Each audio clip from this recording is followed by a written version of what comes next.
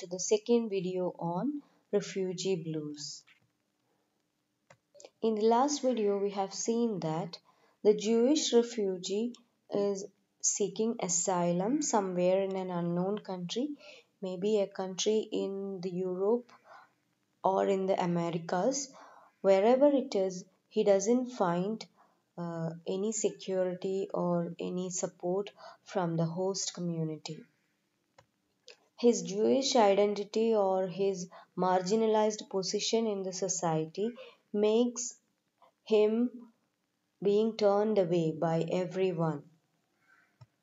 Hitler's hatred towards Jews is known as anti Semitism, and this anti Semitism actually causes them to run away from Germany or any other European country they already lived in uh, and when, wherever they go, people do not accept them. So, in a way, the poet is trying to tell that the countries where these people did not get refuge, they have a responsibility of their uh, kind of misfortune. Not only Hitler or Germany is responsible for this misfortune, whichever country is not giving refuge to these unfortunate people are also responsible for uh, their misfortune. Now let's move on to stanzas 7 to 12 of the poem. Thought I heard the thunder rumbling in the sky. It was Hitler over Europe, saying they must die. Uh, oh, we were in his mind, my dear. Oh, we were in his mind. I thought I heard thunder in the sky. It was Hitler above Europe, saying they must die. He was talking about you and me, my dear. He was talking about you and me. Here, the word thunder symbolizes a kind of threat, and also it refers to the violent language of Hitler um, asking for the lives of these Jews. So, the kind of threat they are facing in Europe and their homeland is referred to in this stanza. So, a poodle in a jacket fastened with a pin. So, a door opened and a cat let in. But they weren't German Jews, my dear but they weren't German Jews. I saw a poodle wearing a jacket fastened with a brooch. I saw a door open to let, in a, let a cat in. But these were not German Jews, my dear. They were not German Jews. So, actually, in this host country, wherever it is, the animals or the pets, they are getting much more attention than these poor human beings. A poodle is a kind of uh, curly haired uh, pet dog and it has beautiful uh, clothing uh, and decorations around it. And uh, we have doors opened for um, cats to get in but all doors are shut against these uh, Jews. Went down to the harbour, went down the harbour and stood upon the quay, saw the fish swimming as if they were free. Only ten feet away, my dear, only ten feet away. A quay is a stone or metal structure projecting into the sea used to load and unload the ship. And the speaker says that he he has gone, he had gone to the uh, harbor and he saw the fish swimming in the water. They were free. They did not need any kind of uh, document to show that they belonged to the country. They had some rights in the water. It was only 10 feet away that the fish were swimming in the water. They were much more freer, uh, much freer than these uh, poor souls. I stood on the pier down the harbour. I saw the fish swimming there, and they looked free enough. They were only ten feet away from me, my dear, only ten feet away. Walked through a wood, saw the birds in the trees. They had no politicians and sang at their ease. They weren't the human race, my dear. They weren't the human race.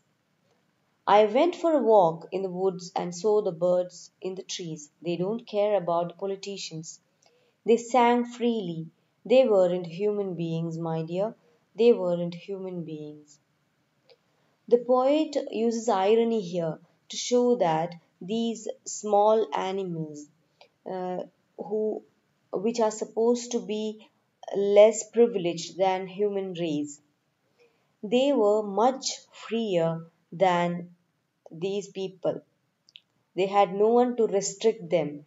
They can sing or uh, they can uh, fly around as they please. There was nothing or no one to restrict their movement or restrict their speech as these human beings are restricted. So he feels that the birds are lucky. Dreamed I saw a building with a thousand floors, a thousand windows and a thousand doors. Not one of them was ours, my dear, not one of them was ours. In my dream I saw a building a thousand stories tall. Tall. It had a thousand windows and a thousand doors. But not one of them belonged to us, my dear, not one belonged to us. So this symbol of this particular building with a thousand floors refers to the host country or the big wide world where these people did not get refuge. There are a lot of facilities, luxuries around them.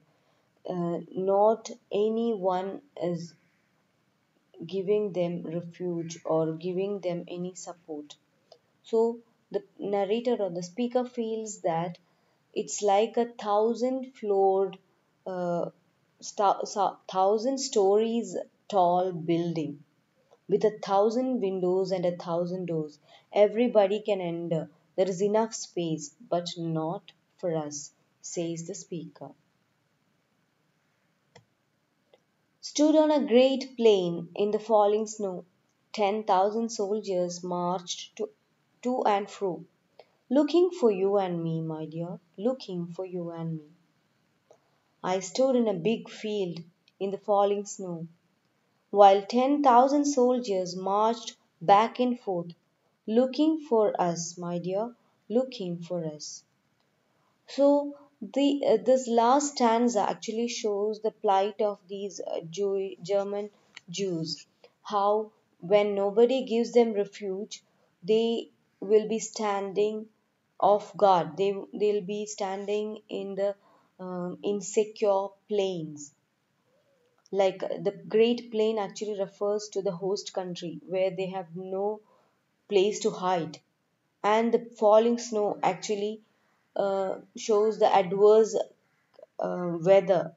In, in fact, everything is against them and they are actually exposed to the threat of the soldiers coming to take them away to be killed, to be tortured. So, Auden in this poem actually tells how these refugees have a right to this world and how the host countries or the host communities should be more sensitive to their pleas. They should show kindness towards them. They should open their doors towards them.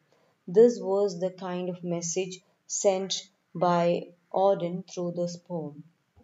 When the poet repeats uh, the phrase you and me in the poem, we can see how these people, these Jewish people, are othered in this host community. How, uh, even though they are together, these people are alone. They are experiencing a kind of loneliness, othering, and a kind of insecurity in the host community and also uh, the kind of attention negative attention they are getting from the soldiers the soldiers 10000 people they are actually coming for them, these poor souls. So their insecurity, loneliness, and helplessness is shown through these uh, lines. Um, that's all about the poem. I hope uh, you read the text also along with this video. Thank you for watching.